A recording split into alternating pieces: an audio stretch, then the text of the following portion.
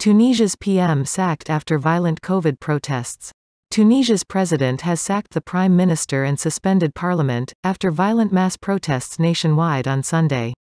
Anger over the government's handling of a massive recent spike in COVID cases has added to general unrest over the nation's economic and social turmoil. President Kais Saied, who was elected in 2019, announced he was taking over. His supporters erupted in celebration, but opponents in parliament immediately accused him of staging a coup. Mr. Saied, an independent, has had a long-standing feud with the man he has removed, PM Hichem Mechichi. Mr. Mechichi has the backing of the largest party in parliament, Ennahda. Tunisia's revolution in 2011 is often held up as the sole success of the Arab Spring revolts across the region, but it has not led to stability economically or politically. The recent coronavirus surge has fueled long-standing public frustration.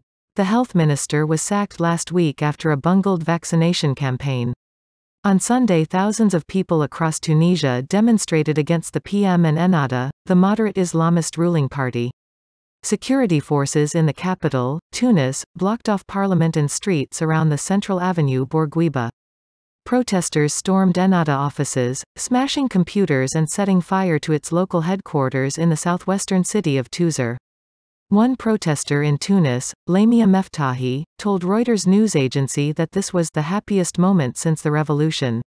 Another in the town of Gafsa told Agence France Presse the president had shown himself to be a true statesman, but a second resident there said, These fools are celebrating the birth of a new dictator.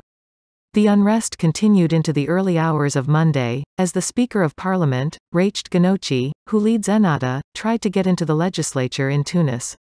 He was blocked by those who supported Mr. Saied's move, and responded with a sit-down protest with his own loyalists. The two sides threw stones at each other. Earlier, in a televised address, Mr. Saied said, We have taken these decisions, until social peace returns to Tunisia and until we save the state. He later joined the celebrating crowds in Tunis. President Saied also vowed to respond to further violence with military force. I warn any who think of resorting to weapons, and whoever shoots a bullet, the armed forces will respond with bullets, he said. In Tunisia, both the president and parliament are elected by popular vote. Under the constitution, the president oversees only the military and foreign affairs, but Mr. Saied has long been in conflict with Mr. Mechichi. Mr. Saied has said he will now govern alongside a new PM, with Parliament suspended for 30 days.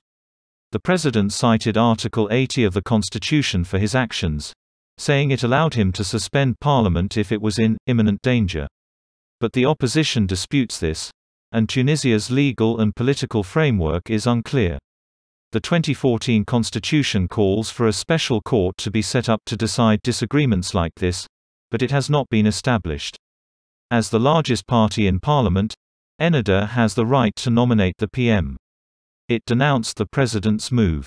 Speaker Ghannouchi accused Mr. Saied of mounting a coup against the revolution and constitution, and called on the Tunisian people to defend them both. Two other parties, Heart of Tunisia and Karama, echoed the coup accusations.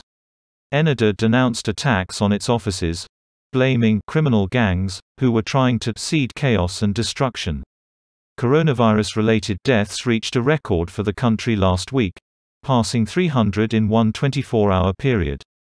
Tunisia has one of the highest per capita death rates in the world. Vaccinations have been slow. Only 7 of the 11.7 million population are fully vaccinated. The government attempted to speed up vaccination by opening it to all over 18s during the Eid al-Adha holiday. However, the effort descended into chaos, with stampedes, shortages of supplies, and incidents of violence. The PM sacked the health minister, an ally of the president, prompting Mr. Saied to instruct the military to take over management of the coronavirus crisis. But COVID is only one factor in the unrest. Tunisia has had nine governments since the 2011 revolution, many of them short-lived or fractured. Deep-rooted problems of unemployment and crumbling state infrastructure that were behind the uprising have never been resolved. Tunisia now has budget deficits and debt repayment issues that could require a new loan from the International Monetary Fund, IMF. but that could hurt Tunisians with the loss of state jobs and reduced subsidies on goods. News taken from BBC. Please subscribe to my channel. Thanks for watching.